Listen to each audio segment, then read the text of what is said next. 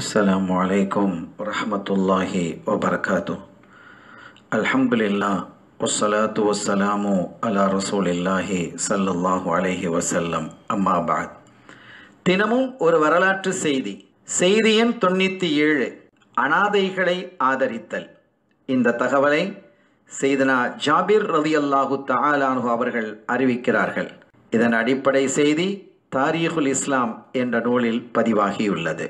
ஹிஜ்ரி பத்தாம் ஆண்டு துல்காதா மாதம் நிறைவதற்கு நான்கு அல்லது ஐந்து நாட்களே எஞ்சியிருந்த வேளையில் கண்மணி நாயகம் ஸல்லல்லாஹு அலைஹி செல்லம் அவர்கள் சஹாபிகளின் பெருங்குழுவோடு புனித ஹஜ்ஜுக்கு புறப்பட்டு சென்றார்கள். துல்ஹுலைஃபா என்ற இடம் வந்த பொழுது சீதனா அபூபக்கர் சித்தீக் ரதியல்லாஹு தஆலானு அவர்களின் துணைவியார் செய்தத்னா அஸ்மா பிந்து உமைஸ் ரதியல்லாஹு தஆலான்ஹா அவர்கள் ஒரு ஆண் குழந்தையை பெற்றெடுத்தார்கள். அந்த ஆண் குழந்தைக்கு கண்மணி நாயகம் செல்லல்லாஹு அலைஹி செல்லம் அவர்களுடைய பெயரை சித்திக் நாயகம் சூட்டினார்கள் முஹம்மது என்று. இந்த முஹம்மது இபின் அபீபக்கர் ரதியல்லாஹு தஆலான்ஹு அவர்கள் உஸ்மான் இபின் அஃபான் ரதியல்லாஹு தஆலான்ஹு அவர்களது ஆட்சியினுடைய இறுதி பகுதியில் திருமணம் முடித்து ஒரு ஆண் குழந்தையை பெற்றெடுத்தார்கள். அந்த குழந்தைக்கு காசிம் என்று பெயர் சூட்டினார்கள். அதன் பின் ஆட்சிக்கு வந்த செய்தனா அலிநாயகம் ரதியல்லாஹு தாலான்ஹு அவர்கள் முகமது பின் அபீபக்கர் ரதியல்லாஹு தாலான்ஹு அவர்களை மிஸ்ரினுடைய கவர்னராக இருக்குமாறு அனுப்பினார்கள்.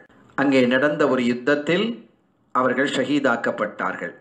எனவே அனாதையாகி போன காசிம் ரதியல்லாஹு தாலான்ஹு அவர்களும் அவர்களுடைய தங்கையும் இந்த இருவரையும் முகமது ரதியல்லாஹு தாலானு அவர்களுடைய சகோதரர் செய்தனா அப்துல் ரஹ்மான் இபின் அபீபக்கர் ரதியல்லாஹு தாலானு அவர்கள் தங்களுடைய இல்லத்திற்கு மதீனா ஷெரீஃபுக்கு அழைத்து வந்தார்கள்.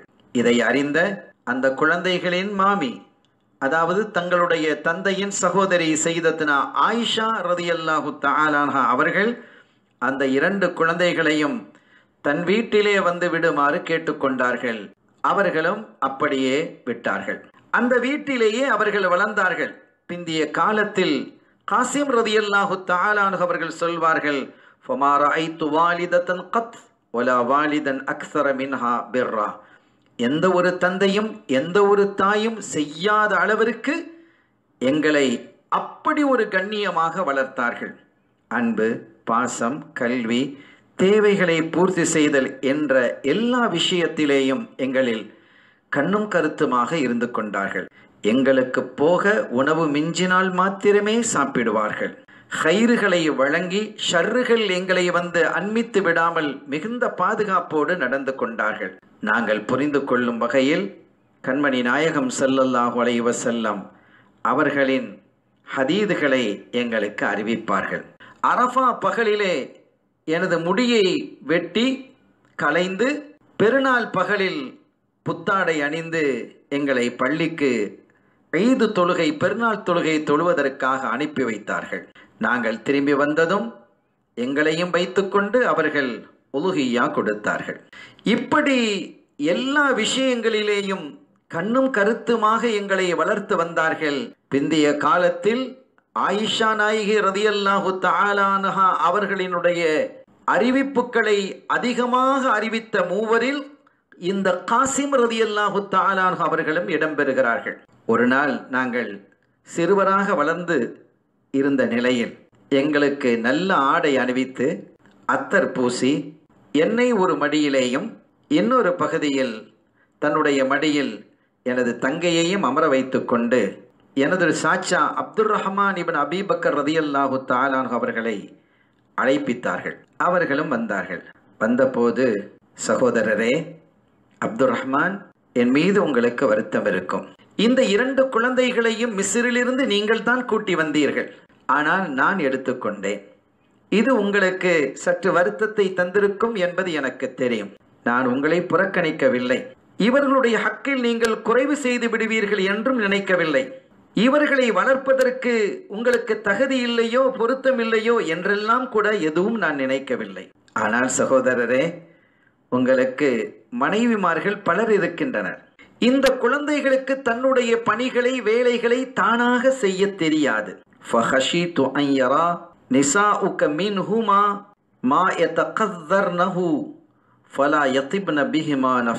நான் பயந்ததெல்லாம் இந்த குழந்தைகள் அசுத்தப்படுத்தி விடும் பொழுதும் அவர்கள் தெரியாமல் சில காரியங்களை செய்துவிடும் பொழுதும் உங்களுடைய மனைவிமார்கள் இந்த பிள்ளைகள் மீது அருவருப்படைந்து விடுவார்களோ என்று நான் பயந்தேன். ஆனால் இப்போது இந்த குழந்தை குழந்தைகள் இந்த பிள்ளைகள் அவர்களுடைய காரியத்தை அவர்களே செவ்வையாக செய்து கொள்வார்கள். அந்த அளவிற்கு பக்குவப்பட்டு விட்டார்கள். இன்னொருடைய துணை இல்லாமல் தங்களது காரியத்தை செய்யும் நிலைக்கு இவர்கள் உயர்ந்து விட்டார்கள். எனவே தாராளமாக இந்த ரெண்டு குழந்தைகளையும் நீங்கள் அழைத்து செல்லுங்கள் என்றார்கள். செய்தனா? அப்துல் ரஹ்மான் இபின் அபீபக்கர் ரதி அல்லாஹு தாலானு அந்த இரண்டு குழந்தைகளையும் அள்ளி அணைத்து கொண்டு தன்னுடைய வீட்டிற்கு வந்தார்கள். அருமையானவர்களே கண்மணி செல்லல்லாஹு அலைவ செல்லம் அவர்கள் சொல்வார்கள் அனாதைகளை ஆதரிப்போரும் நானும் சொர்க்கத்தில் இப்படி இருப்போம் என்று தன்னுடைய பெருவிரலையும் ஆள்காட்டி விரலையும் இணைத்து காட்டினார்கள். அனாதைகளினுடைய தலையை தடவி விடுவதும் இபாதத்து என்றும் சொன்னார்கள். பாக்கியமானது என்றும் அறிவித்தார்கள். எனவே அனாதைகள் நம் குடும்பத்தில் இருந்தாலும் வெளியில் இருந்தாலும் அவர்களை அரவணைப்பதும் ஆதரிப்பதும் நாளை மறுவுலகத்தில் கண்மணி செல்லல்லாஹ் வளைவ செல்லம் அவர்களுடைய நெருக்கத்தை பெற்றுத்தரும் என்பதை உணர்ந்து அந்த வகையில் நாம் செயல்படுவோமாக. வல்ல அல்லாஹ் நம்மை நம்முடைய சந்ததிகளை பொருந்திக் கொள்வானாக. ஆமீன். வசலாம் அலைக்கும் வரமத்துல்லாஹி வபர்காத்து.